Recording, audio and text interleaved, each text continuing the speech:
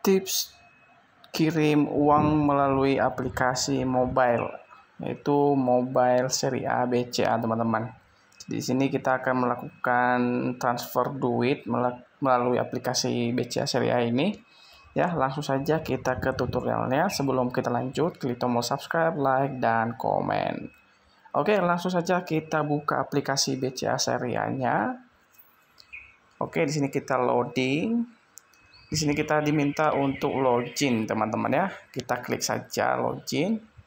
Terus kita masukkan kode akses, teman-teman. Di sini saya skip dulu.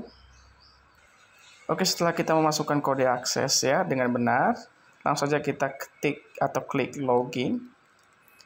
Setelah login, kita akan masuk ke ATM atau ke beranda ATM-nya BCA ini, teman-teman, atau aplikasi BCA Seri A. Kita tinggal menunggu ya tergantung jaringan teman-teman ya.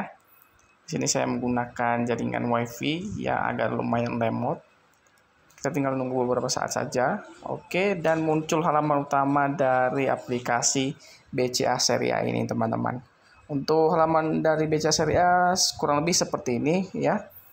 Jadi untuk melakukan transfer teman-temannya di sini ada menu transfer, kita tinggal klik saja.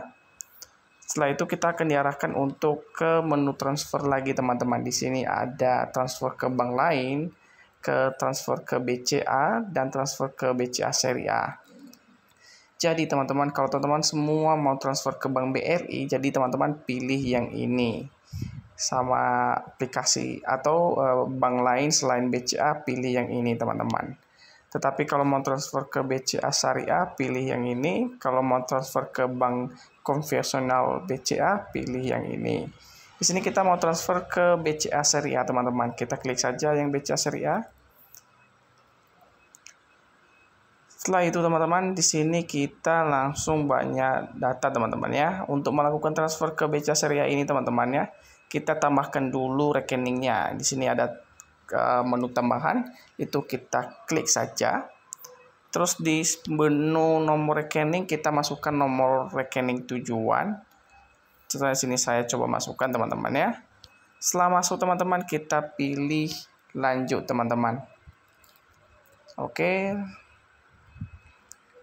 Kita tinggal menunggu beberapa saat lagi ya. Ini kodenya lagi berjalan Setelah itu nanti kita akan diminta untuk melakukan konfirmasi teman-teman untuk nomor rekening tujuan yang mau kita tambahkan ini ya. Untuk mengkonfirmasinya tinggal klik yang konfirmasi di bawah ini teman-teman ya.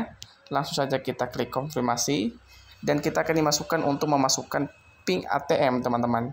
Jadi masukkan PIN ATM-nya dengan benar. Di sini saya akan tutup.